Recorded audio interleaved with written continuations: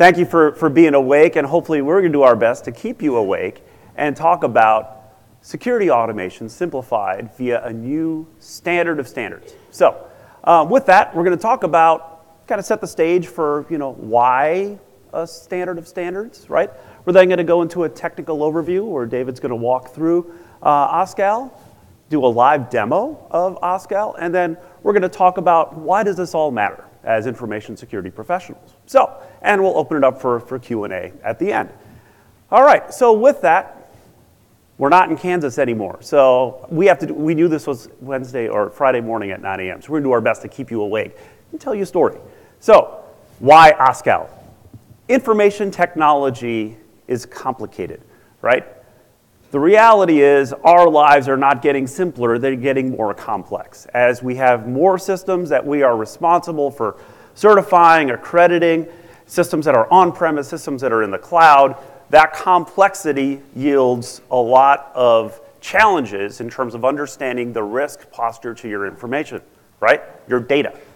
With that, because our systems are complicated, security vulnerabilities are everywhere, right? There is not a day that doesn't go by where there's not some new zero day that is out there for a system that you are responsible for. Coupled with the fact that a lot of organizations have to adhere to regulatory frameworks, right? 853, PCI, HIPAA, COBIT 5, you name it. You have all of these regulatory frameworks, some of which have controls that are mutually exclusive, right? So, how do you adhere to these regulatory frameworks with all of this complexity? And then the documentation. You have to produce this documentation that takes an inordinate amount of people to write that is instantly out of date the moment you wrote it because you made a change, right? So, that's the challenge. So, when we look at how do you assess security controls, you have security controls and profiles that are represented in proprietary ways, right? And these profile mappings to catalogs are often imprecise, where it's not machine readable. We need some way to have machine readable and human readable content generated off of a catalog of controls. And we'll talk about and show you what that looks like, right? You have systems that have many components. We talked about the complexity of information systems that require different profiles per component. These systems are multi tenants, you have mixed ownership of components across cloud service providers, right, for example, that complicate the assessments. Who owns what? What does the cloud provider own? What do you own in terms of controls, right? How do you test and verify the, that, that that control is actually implemented? And a single system may be subject to several regulatory frameworks. We talked about the complexities from a regulatory standpoint. And security control assessment today is largely a complex manual process. So, you know, with that, we want to take you on a journey, tell you a story, right? So, you know, Dorothy, and we want you to introduce you our friend, our friend Dorothy. So, we said we're not in Kansas anymore, and we said it's a talk at 9 a.m. So we, we, we have to do our best to, to, to, to keep you awake and, and interested. So meet Dorothy. Dorothy is an information security professional working at a multinational corporation in Kansas. She is stressed out. She has to create uh, system security plans and audit results for her CISO for the information systems that she is entrusted to protect. Now, because she's stressed out, they asked, hey, can I, she asked her boss, hey, can I bring my dog to work? So they said, yeah, it's fine. I know how stressed out you are. So they, they, she got to bring Toto to work. So she's sitting there working away, and the craziest thing happens, right? Her and her data center gets transported and smashes some house in some crazy place called Oz because her day can't get any better, right? So now she's stressed out. She's in some crazy place called Oz. She steps outside and she meets this lady. And this lady says, she asks this lady, Why am I here? How do I get home? She's like, No, you, you need to go talk to this guy and he will tell you how to get home. And guess what? He also has a way to simplify and automate the C&A of your systems, the assessment of your system. She's like, great, I get a twofer. I get to go home and I get to automate the informa- my information system. So, all right, great. So she's got to go, she's walking down this yellow brick road. She waves this lady goodbye. Thank you, nice lady. I'm going to take my dog and go to this green place over here. And she meets this dude on a pole. And she's like, What is up with this? There's a dude on a pole. And this dude on a pole looks at her and says, And she asks, Why are you up on this pole? And he's like, They put me here because I wrote this SSP that was not compliant the moment it was written. And she's like, What kind of busted place am I in here? So, so she's like, Look, I'm going to go meet this guy, and he's going to get me home, and he's got something to help automate the compliance of your information system. So you might want to join me. She's like, Wow, that might help me get a brain. I'm going to, I'm going to join you. Can you get me down from here?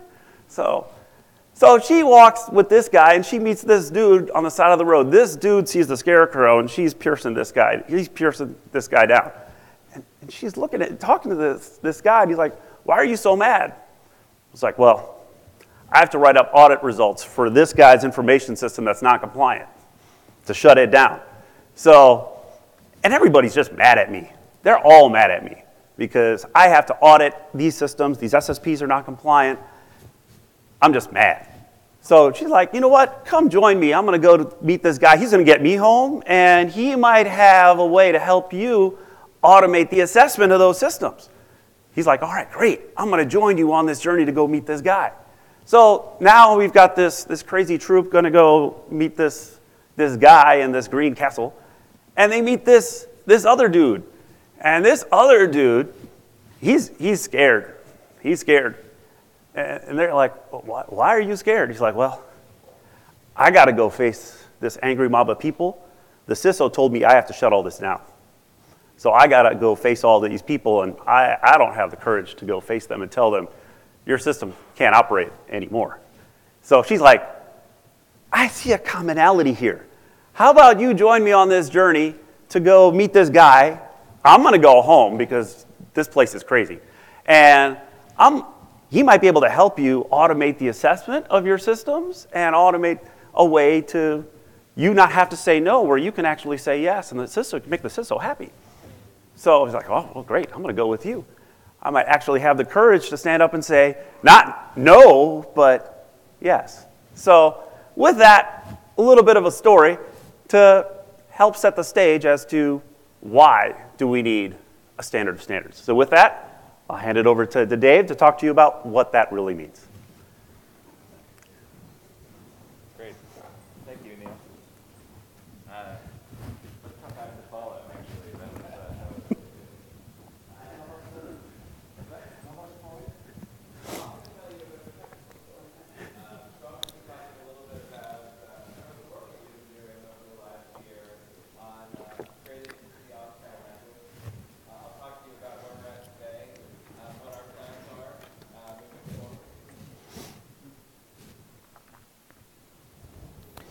And uh, I'll be talking about uh, where we're going to be heading next, um, as well as how you can help us uh, get there. So, what is OSCAL? Um, Anil uh, was talking about OSCAL as this standard of standards. Um, OSCAL isn't quite a standard yet, um, but we do have plans uh, eventually to, to work on uh, making it a standard uh, by working through an appropriate standards body. But what what OSCAL does today is it helps uh, to organize uh, standardized information that is published as a bunch of different standards. Uh, so we're working on standardizing how uh, control information is expressed. Um, whether the control catalog be 853, uh, be 2700001, um, or COBIT 5. Uh, those are the catalogs that we're currently working with, um, and, and there are others out there as well.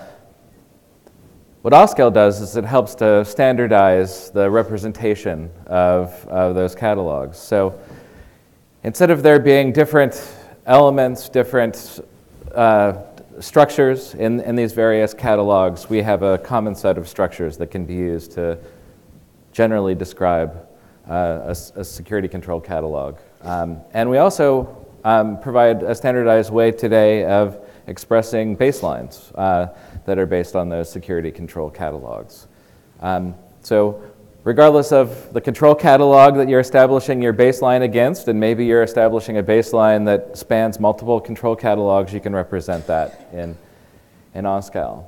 Um, and by standardizing this information, we make this information interoperable. We allow tools to um, ingest this information um, using this common format um, and then work with that information. So the GRC tools uh, that you use on a daily basis um, can import this, this common information.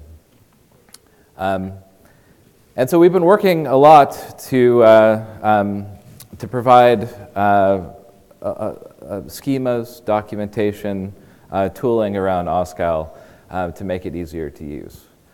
Um, and certainly the work that we've done is a lot easier to use than the Excel spreadsheets and Word documents that most people uh, struggle with uh, today. So our goal uh, with OSCAL is really to do, um, to do two things. We, we want to um, generate better tools in the marketplace uh, through these uh, standard data definitions. And secondly, we want to work to make um, control assessments um, much more automated, much more efficient. Um, and, and by doing this, we hope to reduce labor. Um, we help to allow for more continuous assessment of, uh, of systems um, instead of the you know, periodic uh, reviews that often occur today. Um, and as Anil mentioned, we, we hope to address the challenge of addressing multiple uh, requirements across you know, multiple um, you know, regulatory frameworks simultaneously using this standardized model. Um, and we want to do that in a platform neutral way. So before I go too far into OSCAL, I wanted to have a brief discussion about some terminology that, uh, that we use in the OSCAL project. Um, so when we talk about a control, uh, we're talking about a safeguard or countermeasure um, that's designed to satisfy a set of defined security requirements. So, um, so this is a typical control that you would see in like 853 or COBIT 5. Um, what we're not talking about when we say control are what we consider to be higher level concepts like the NIST cybersecurity framework or the CIS um, um, controls. Those are higher level uh, policy items. Um, what we're talking about are lower level um, control catalogs um, and, and controls that are contained within them. When we talk about a catalog, a similar notion. So a catalog is simply a collection of those, of those controls, something like 853 or ISO 27001 um, or COBIT 5 are examples of, of what we're calling a control.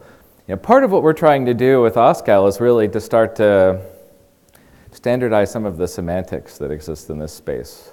There's a lot of fuzziness, a lot of you know, gray area um, in, in this space where the terms that people are talking about are, are just very squishy. Um, and we're trying to actually work on, on uh, coming up with you know, better definitions, better standardization around um, how terminology is used, and also then having the data that goes along uh, with, with that semantics.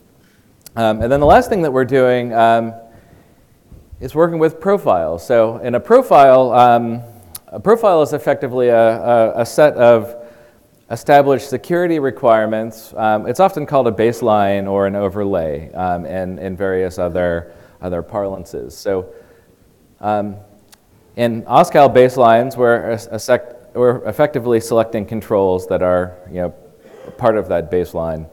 Um, and examples of these are the low, moderate, and high baselines that, um, that NIST publishes as part of um, 853. Um, FedRAMP maintains uh, a number of uh, low, moderate, and high baselines uh, for their cloud efforts. Um, and you know, things like you know, PCI DSS are effectively a baseline, um, although those are not exactly defined at the same control level. So OSCAL is intended uh, to support a broader assessment uh, workflow. Um, a workflow where you know, the organization selects an appropriate um, um, control catalog or catalogs um, they either select an, an existing baseline uh, for, for their system, or they tailor or create a custom baseline uh, that describes the, the controls. Um, this might be part of their risk you know, management uh, process. Um, and, and this is really kind of getting at um, you know, what we have in the NIST RMF around you know, select, assess, report. So the next thing that an organization typically does is they, um, they define a system security plan that talks about um, how those controls are implemented uh, within their system. Uh, they'll develop a test plan that documents how they're going to go about assessing uh, that SSP. Um, an auditor will come in, uh, do an audit, and report those results. So that's the traditional uh, workflow. What we're working on within OSCAL are um, machine readable uh, formats that can be consumed by tools uh, to help automate this, this process. So we're defining a catalog model um, that allows organizations that publish catalogs like NIST to publish those catalogs in a standardized format. Uh, we're developing a profile model that allows organizations that define baselines to publish those baselines in a machine readable way that can be easily imported into tools. Um, and then organizations can also then use that information to drive their own baselines uh, based on the controls that are appropriate for their organization. Um, we're also working on an implementation layer which allows vendors to define uh, the controls that are implemented in their product and allows organizations to import that information to help them auto generate uh, a, a, portion of their SSPs. Um, and we're eventually working towards um, doing similar things to allow vendors to help identify how to assess their products and have that be used as part of an automated assessment um, and audit result reporting capability. So in OSCAL, we're taking a phased development approach um, uh, for the effort. Uh, and we're, we made the decision early on to start kind of from the bottom up. Um, we're developing OSCAL through a series of uh, monthly, roughly monthly development sprints. Um, we're focusing really on the 80% of the problem that we can address using 20% of the time. Um, so we're not trying to handle every possible edge case in the OSCAL project right now, but we're trying to, to address the, the core functionality um, that is commonly needed. And that's allowing us to actually move fairly quickly with the, with the project. So, um, a couple of phases that we've been working on uh, that, are, that are completed. Um, in our first sort of inception phase, we're calling phase zero, um, we did some work to investigate various control catalog approaches um, to try to understand sort of what the requirements were around um, what a catalog needed to look like. And so, for that, we, we, we looked across the three control catalogs that I've mentioned. NIST 853, Rev 4. Um, we also looked a little bit at Rev 5, but it's still in draft, so um, we, we, we, took a look at that. Um, we, uh, we also looked at ISO 27001 um, and 2 uh, because there are assessment action information in, in 2. Uh, and we looked at COBIT 5. We really wanted to look at something like COBIT 5 because we wanted to come up with an approach that would work you know, well beyond government. Um, if we're working on standardizing control information, we want to do that in a way um, that is broadly applicable uh, to the control space. Um, so it was really important to us to be you know, very inclusive in the, the various control catalogs that are being used in the industry today. Um, and using that, we came up with sort, of a common set of requirements for control catalogs. Um, and in phase one, we, we worked to, to actually build a prototype of a, of a control catalog. Um, and we iterated on that quite a bit. We shared it with some friends, and, uh, and um, they provided some feedback. And we were able to I, I, think at this point, stabilize the format of a, of a control catalog. And I'm going to be showing you some examples of this in a little bit. What we're currently working on is doing the same kind of analysis um, on the profile level. Um, and at this point, we've looked at a number of different baselines. We've been you know, talking with folks with the FedRAMP program. Uh, we've been talking with the FISMA team at NIST about how baselines are expressed there, um, and a bunch of others in the community. Um, at this point, we, we feel like we're getting pretty, pretty near having a stable uh, profile format. Um, we're also starting to look into the implementation layer. So this will be um, working on automating SSPs. Um, we've recently started to engage pretty strongly with the FedRAMP team um, at GSA. Uh, they're actively participating in this effort, um, and we're working together to, to look at uh, FedRAMP as a use case around uh, control implementation. Uh, so we're going to start with that use case, and we're going to expand our use cases out from there. And then uh, we have planned later this year uh, to start working on prototyping how we do mappings to, to various frameworks. Uh, and this is where we would address things like the NIST cybersecurity framework, things like PCI, HIPAA, and so forth, um, as well as um, starting to develop some prototypes of the assessment and assessment results format. Um, and we hope to wrap up an initial version of OSCAL um, early next year. So um, now I'm going to talk a little bit about uh, the individual uh, models that are, um, that are part of OSCAL. Um, so the first model um, is the catalog model. Um, so this is really designed to represent how you express a control catalog, and to do so that is sort of agnostic uh, to uh, the control catalog um, implementation. Um, our current control catalog mo model um, supports controls uh, from um, a number of existing control catalogs. We have some um, examples of, of those control catalogs um, on our GitHub repo. Um, as I mentioned, we've, we're supporting 853 COBIT ISO 27001. we're open to supporting other control catalogs. Um, we would like to invite uh, organizations that produce other control catalogs to come work with us um, to, uh, to produce their control catalogs using uh, the OSCAL format. By providing this control catalog, we provide sort of a stable foundation on which we can build the, you know, the, the higher layers of, of uh, OSCAL.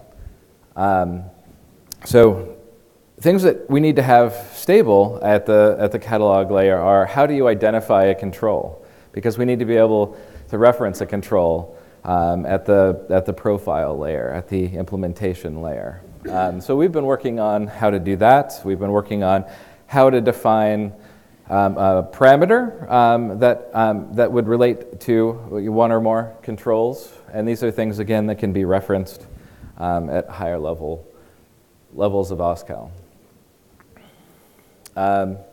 So the catalog format supports a number of features. You can include additional guidance um, along with the control definition. You can create references uh, to, to other controls and other control catalogs potentially. Um, these references are use a, a relationship type, so you can establish the nature of the relationship. That's something that doesn't often exist in the Excel spreadsheets that we often work with. There's just sort of a, you know, this ID relates to this ID in some way uh, that is not clearly defined. Um, so, um, so OSCAL allows you to, to represent that kind of information. Um, here's an example of what an OSCAL catalog looks like. This is an XML example. Uh, we also have a JSON representation for OSCAL. Um, basically, the, a catalog has you know, a title. Um, a contr controls can be grouped into uh, groups. Like in this example, there's an access control family group. Um, every um, control has a title. It has a list of parameters that are associated with it. You can define arbitrary properties. Um, you can define the statements using something like an HTML markup, um, which can then be used in, in tools and rendered to, to humans. Um, it can include guidance, references, um, and so forth. Um, so um, we, the next thing that we've been working on is the OSCAL profile model. So this is a normalized way of representing a control baseline. It allows for the selection of a, a, subset of controls out of a control catalog or control catalogs, and it also allows you to de define parameters. So you can define, um, in this baseline, um, my minimum password length is 8, as an example, um, in, a, in, an OSCAL um, profile, if you choose to do so. Um, and we've developed examples to support 853 low, moderate, and high, um, as well as FedRAMP low, moderate, and high.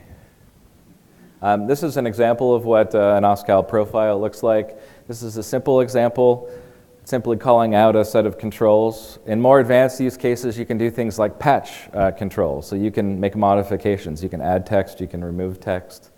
Um, um, and you can import controls from multiple control catalogs. Um, you can also extend other OSCAL profiles. So if you say, hey, I like the NIST um, 853 moderate baseline, it works pretty well for my system, but I'd like to turn up a few of the controls um, that are not present in that baseline. Um, you can start with that uh, 853 moderate baseline and then add, add in the additional controls uh, that, that you would like. And so the next area that we're starting to, to work on is this implementation model. Um, and this is really how you would define your controls implementation for a system component. Um, this would typically reference an underlying profile um, to represent the baseline that the system is implementing. Um, it would map that uh, selected baseline to the actual component implementation. Uh, we also want to deal with things like you know, compensating controls, inherited controls from other systems um, in, this, in this layer. Um, and the, the end goal of this is to allow the generation of a system security plan. Um, at least as much of it as we can possibly generate automatically. So, um, so next I want to talk about where this yellow brick road leads. And of course, it's to the Emerald City. We'll get there. Um, so the remaining work that we have to do is really around how you define um, how you would go about auditing uh, the system and how you would define um, a format for the audit results. Um, our plans are to use some of the existing assessment work uh, that has been done. So we want to integrate with, um, um, uh, with efforts like the Security Content Automation Protocol, which is a project that I also lead. Um, uh, but we also want to look at other, other assessment methods um, that are commonly used out there. You know, things like Puppet and Chef can be used for you know, assessment in, in the DevOps community. So we want to look at how we can integrate with those, um, as well as provide integrations to other technologies. Uh, and this would allow us to then implement you know, the entirety of uh, what we're defining as the OSCAL workflow. So now I want to quickly give uh, a, a, short uh, demo on, on what we can do in OSCAL. So, um, so I was showing before um, what, uh, what we have as far as a control catalog. So know, this is an example of a, of a control catalog. Um, we've been doing some work to, um, to generate uh, spread, uh, uh, style sheets and, and transforms that can actually re uh, render this information that is largely uh, structured in machine readable form and, and be able to um, display this in a human readable form. So we can do something like you render a catalog into HTML. And I'm using a very simple tool uh, that I wrote that incorporates some of the, the work that we've been doing. Um, this tool will be open sourced probably in the next few weeks after, after RSA. So if you would like to um, play with this tool, it will be available soon on the OSCAL repo. Actually, let me do this. So, so using the OSCAL catalog format, um, this is an example um, rendering of uh, control um, in, a, in a much more human-friendly uh, form. And so it, can, it inc incorporates things like um, the assessment objectives from 853A. Um, this is an example of uh, control enhancement. So this is basically the entire 853 control catalog um, that was rendered from an XML machine readable form into um, HTML. Another thing you can do is you can you can convert um, between uh, the XML form and and JSON.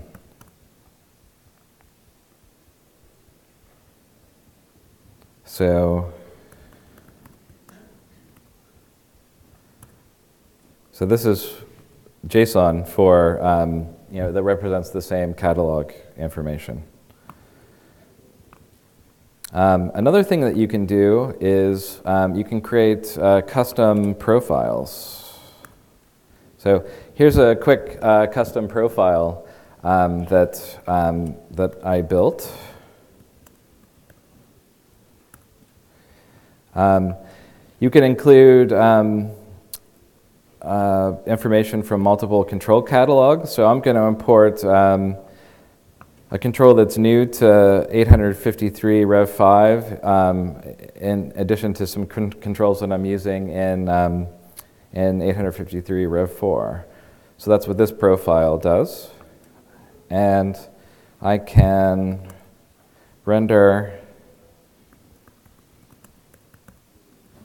that new combined profile in HTML as an example.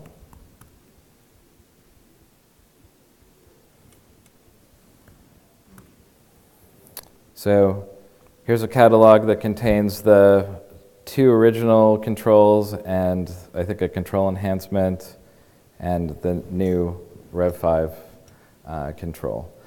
Um, these are some just basic style sheets that we've created that are available on uh, the, the OSCAL uh, GitHub uh, repo. Um, but having the structured data, this is examples of, of how you can you know, pipeline um, some really basic um, tasks that, uh, um, that, that, that, folks working with controls um, have to deal with. Um, we hope next year to be able to come back and actually show um, some actual assessment work uh, using, using OSCAL. Um, so with that, I'd like to switch back to, uh, to our slides. So we have a couple of polls. Do you want to run those? Yeah, great. so, so you've seen OSCAL, you've heard about what it is and the, and the power that it can demonstrate. So, so with that, in the interest of time, we're actually not going to do the live poll because we only have just a couple minutes left. But um, We'll just say, do you have compliance programs that operate off of Word documents and Excel spreadsheets? Right? Yes? Show of hands? Yes? Okay. How many say no? Yeah, okay. So how many people love Excel spreadsheets, right? Who's an Excel ninja, right? Okay. there you go. Because you have to be an Excel ninja to, to do this. But what if there was a better way? Would you like to see more automation in your compliance program by a show of hands? Yes? All right, fantastic. I'm glad you're here. So we can talk about that. So, or automation, what's that? Uh, all right, everybody wants automation. Great. So, why does this all matter? Well, the reality is information technology and IoT are increasingly complex, right? Hybrid cloud deployments are on the rise. That's the reality of the life that we live in today. IoT is on the rise, being built at an incredibly low cost, deployed throughout our enterprise, right?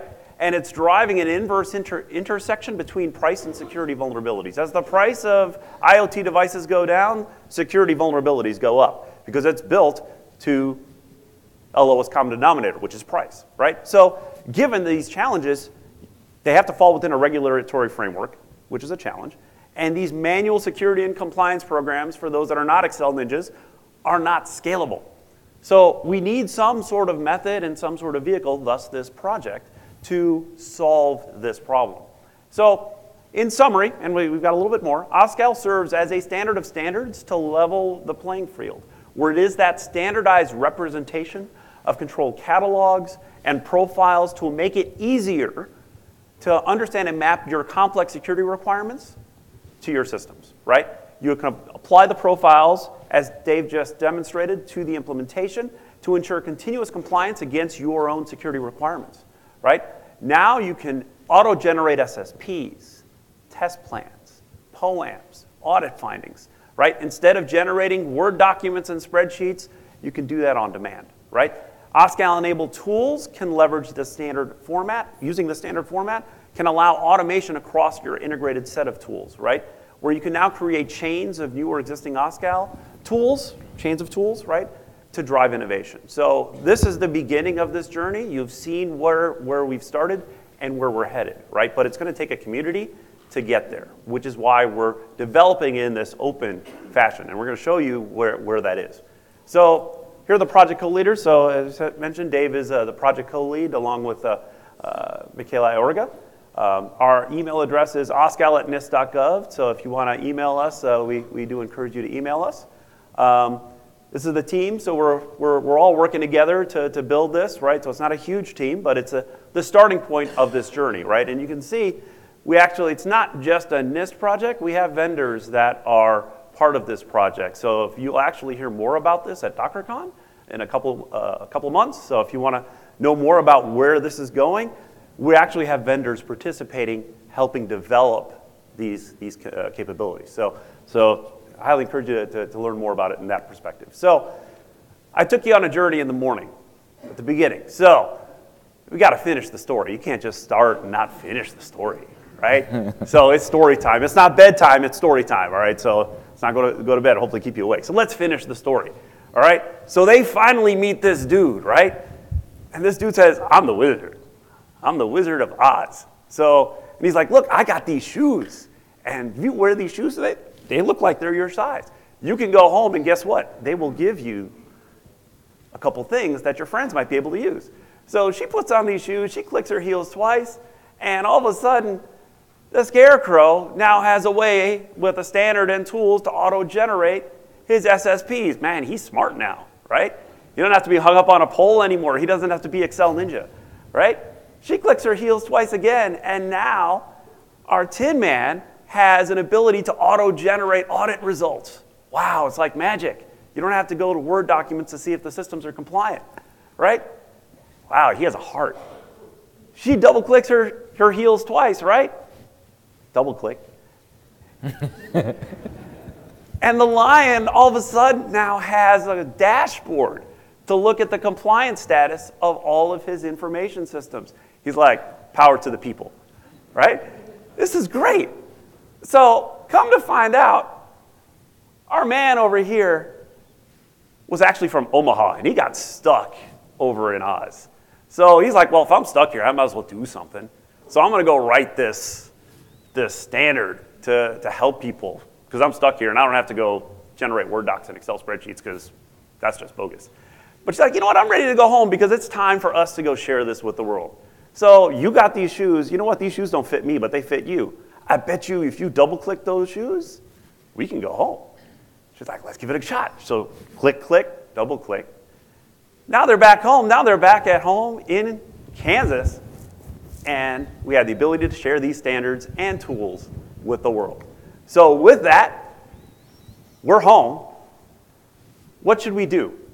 So, familiarize yourself with the resources available on the OSCAL website. We will show you where that is and, and, and the resources that are there right? And understand where your manual processes within your security and compliance program can be automated using OSCAL and OSCAL-based tools, right? In the next couple months, talk to your tool vendors, right? Your GRC tool vendors. How can they leverage OSCAL, right, to automate your security and com- uh, compliance requirements? And then in six months, talk about doing an automated compliance pilot with an OSCAL-based tool vendor, right? You need the standard so the tools can work right? It's, it's, it's a mutually beneficial uh, solution. So, so with that, where do you get this information? Here it is. So um, we just fit, flipped the repo live, so the repo is now public. So github.com slash usnistgov slash OSCAL. It is a public repo. Please go check it out. Pages.nist.gov slash OSCAL is documentation that's written, uh, that's available for you to read about it. And of course, if you want to get a hold of us and the team, do email us at oscal at nist.gov. So, with that, I know that was a lot. This is the beginning of a journey, and we want to take this journey with you. So, thank you guys for, the, for your time this morning.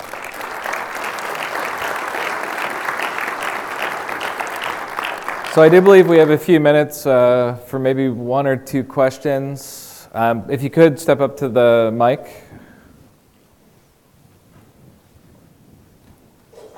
Hi, so good. Yes. So good morning. Can you hear me? Yes. Okay, so I am an RMF practitioner subject to JSIG.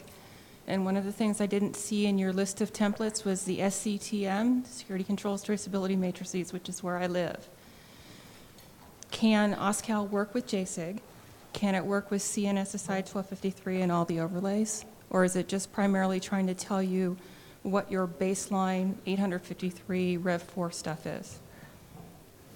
So um, where we're at today is is probably more of the later the latter. Um, but our plan is to work towards providing more of the types of automation that are needed uh, to support your use cases as well. Um, it would be great if you could email us actually and, and talk about your use case. Um, we could develop a user story around that um, and make sure that, uh, um, that that's on our, our roadmap.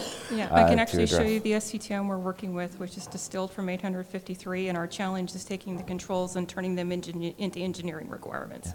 So, So- yeah, one thing I'll add, and thank you for that. Is, Perfect. Yes, thank you. Is it is GitHub, open issues. So we, we this is a sprint-based project. So open issues in GitHub of things that you would like to see, or email us, right? So the, the issue list is open, so you can see what we're, we're doing in terms of the project and the user stories and the sprints. So it's all public and available, and we're doing this in an open format as opposed to sending you an, uh, uh, an SP, the traditional model, and saying, we, we did this. So we, we need to do this together. So this is the beginning of that journey, and that's, that's part of how we get to the end.